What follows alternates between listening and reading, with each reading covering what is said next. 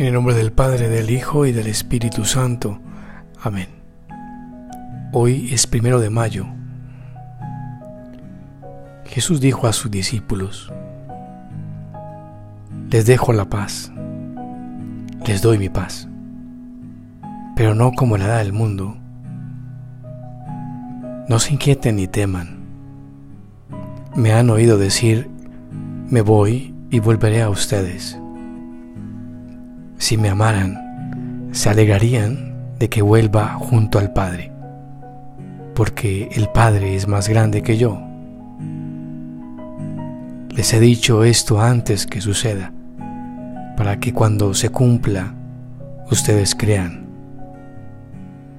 Ya no hablaré mucho más con ustedes, porque está por llegar el príncipe de este mundo.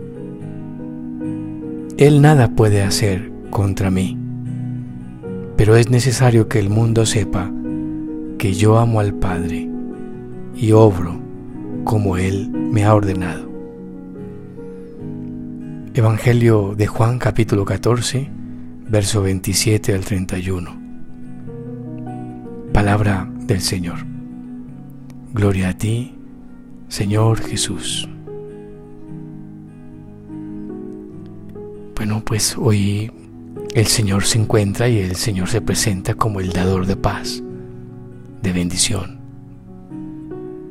El Señor que hace posible que aún las dificultades, inclusive en el dolor, en la incertidumbre, se pueda vivir en la confianza, en la tranquilidad.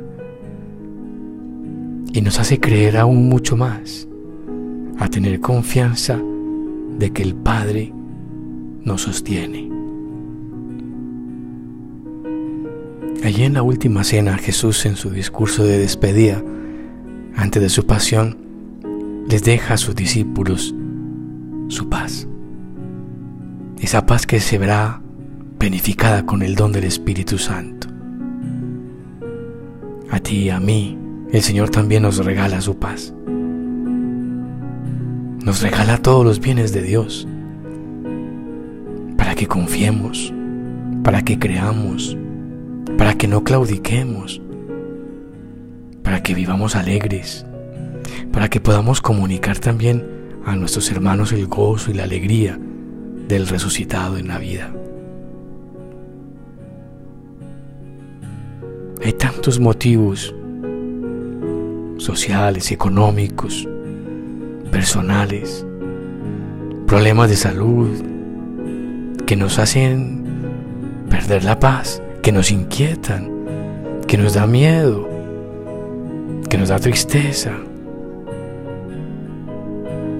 Y esto me interpela muchísimo en la vida. Qué bueno que hoy podamos decirle con una gran confianza al Señor, Señor, dame tu paz. Esa paz que nos libra del dolor, esa paz que nos libra del mal esa paz que nos sostiene, que nos hace testigos, discípulos misioneros tuyos.